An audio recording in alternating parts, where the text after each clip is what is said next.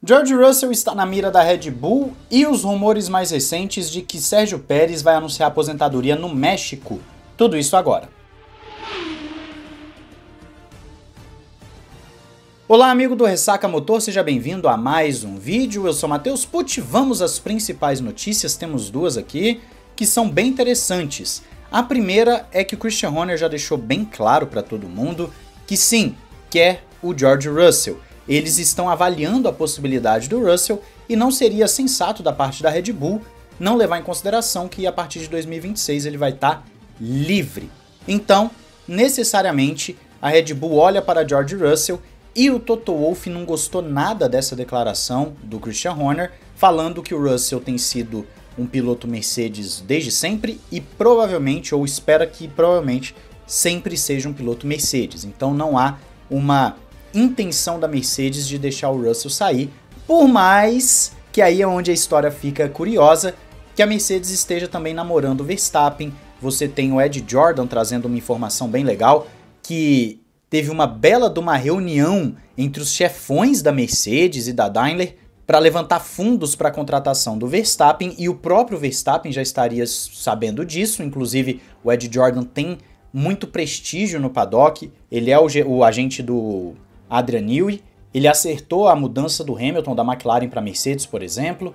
Ele é um cara que tem muito prestígio, já foi chefe de equipe, como bem sabemos, então ele tem os caminhos, ele conhece o pessoal ali dentro e não é de ficar dando barrigada. Sabendo disso, uma possível ida do Verstappen para Mercedes, né, com o próprio Verstappen já sabendo desse movimento, e a gente sabe também que o Verstappen já disse que não teria problema nenhum de ir para Mercedes, a Mercedes também já falou publicamente que quer o Verstappen.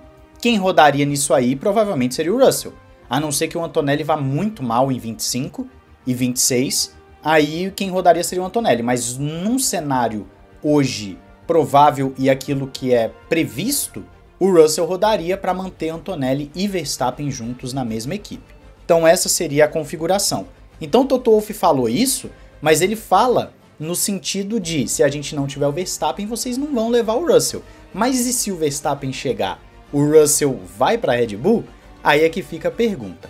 E esse embate tá bem curioso, porque a Mercedes está despontando como uma das favoritas para o regulamento de 26, a Red Bull está passando por inúmeros problemas, como nós temos noticiado aqui recentemente, né, pegando várias fontes para vocês, e no final das contas, tudo se resume à melhor oportunidade. Será que a Red Bull vai conseguir fazer um carro à altura, um motor à altura para o regulamento de 2026? Será que a Mercedes realmente tem essa vantagem toda para o novo regulamento?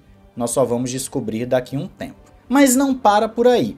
Essa também namorada que a Red Bull deu com o George Russell pode ser porque Sérgio Pérez deve aposentar em breve. E esse rumor surgiu, e mais uma vez eu digo rumor, ok?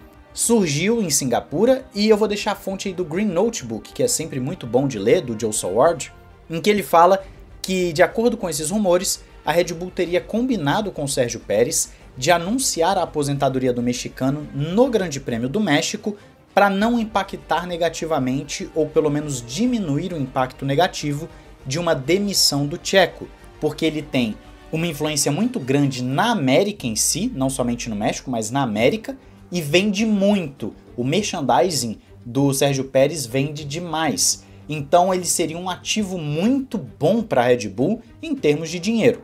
E aí, para você minimizar esse impacto, ao invés de falar que o cara tá sendo demitido e aí as pessoas querer boicotar a Red Bull, ah, não vamos mais comprar as latinhas, as camisas, etc. Você fala que o Sérgio Pérez vai se aposentar e faz esse anúncio na casa dele como uma grande despedida, uma grande festa de despedida, e o Sérgio Pérez então sairia em alta com a torcida e a Red Bull também, o que poderia até mesmo aumentar as vendas. O pessoal ia querer comprar mais ainda os produtos do Pérez, porque seria a última temporada, as últimas provas dele na categoria. Mais uma vez, trate como um rumor. E por que eu digo isso? O Sérgio Pérez deu entrevista sendo perguntado disso aí, vou deixar na descrição também, como sempre deixo as fontes, e ele fala que tem escutado muito isso nos últimos meses e semanas e tudo mais, só que ele está comprometido ainda com os próximos anos de Fórmula 1. Ele está muito motivado, quer muito continuar na Fórmula 1, ele ainda curte muito a categoria, curte os bons momentos e aprendeu a curtir também os maus momentos. E ele ainda tem dois anos de contrato, dois anos é muito tempo, E ele sabe que o fim está chegando mais próximo, mas ele ele também não se vê correndo por muito mais tempo como Fernando Alonso e admira o Alonso por isso. Ele não gostaria e ele tem dois anos e quer focar nesses dois anos de categoria.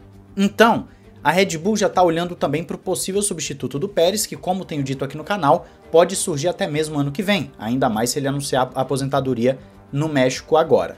Então, o rumor diz uma coisa, o Pérez diz outra coisa, e a única certeza que nós temos é que o Pérez não está entregando o que a Red Bull espera.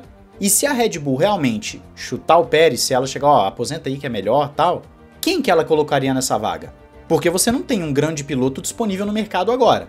Se fosse para fazer esse movimento com o Ricardo, seria melhor você ter esperado a temporada acabar, e aí você tirava o Ricardo e botava o Lawson lá na Vicarb e colocava o Ricardo na Red Bull. Beleza, um movimento que eu até inclusive disse que já até esperava que acontecia. Agora, tirar o Ricardo nesse período da temporada e não anunciar nada pro Pérez é o que me estranha. Até cheguei a, a classificar como desrespeitoso com o Daniel Ricardo. E o Russell surgiu como essa opção para Red Bull. Ele surgiu porque o contrato dele também acaba em breve e você pode ter o Max Verstappen indo para lá. É claro, se o Verstappen vai para lá, você ainda tem o problema de ter que achar um outro companheiro pro George Russell, mas esse companheiro pode ser o Lawson, que já vai ser treinado agora. Então a Red Bull já está pensando na substituição de um piloto por um outro de alto nível. O George Russell é um piloto de alto nível. A Red Bull já está pensando o seguinte: ou eu vou ter uma dupla Verstappen-Russell, ou eu vou ter um Lawson ainda muito verde, só que com o Russell que já está mais maduro. E eu vou manter um nível alto, por mais que o Verstappen esteja num nível acima do Russell. O pensamento da Red Bull não é ruim, e repito, o Christian Horner disse isso publicamente, então o interesse no George Russell é público, não é rumor. Tanto é que o Toto Wolff respondeu publicamente, assim como o interesse da Mercedes no Verstappen também é público. O que tem de rumor aqui é a possível aposentadoria do Pérez já nessa temporada, com o um anúncio marcado para o México. E o mercado de pilotos vira essa bola de neve. Tudo porque o Hamilton decidiu ir para a Ferrari. a gente está tendo toda essa movimentação de mercado porque o Hamilton decidiu ir para a Ferrari, porque criou um efeito dominó, né? O Sainz ficou livre no mercado, aí foi para Williams, e aí a Mercedes teve que subir, subir o Antonelli porque o Verstappen não foi para lá, mas esse namoro com o Verstappen gerou uma possibilidade para o futuro aí, para daqui dois anos. O Verstappen saindo vai abrir uma vaga na Red Bull, o Pérez não tá entregando, então pode ser que abra uma outra vaga na Red Bull. Se o Verstappen vai para Mercedes, o Russell provavelmente é o que vai sair, aí ele pode ser contratado por outra equipe, no caso a própria Red Bull, enfim. Você tem uma série de coisas acontecendo por causa do movimento Hamilton.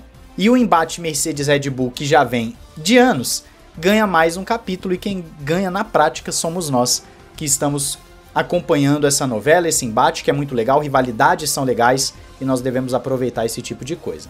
Eu quero saber a sua opinião aí nos comentários, não esqueça de se inscrever e ativar o sininho para não perder nada. Paddock BR tem as melhores camisetas da Fórmula 1. Entra aí no link na descrição, cupom Ressaca F1 ou Ressaca Motor para desconto e frete grátis. Tem moletons belíssimos na Paddock BR. E entra na Instant Gaming para adquirir seus jogos e gift cards pelos melhores preços. Link também na descrição. Um grande abraço, valeu e falou!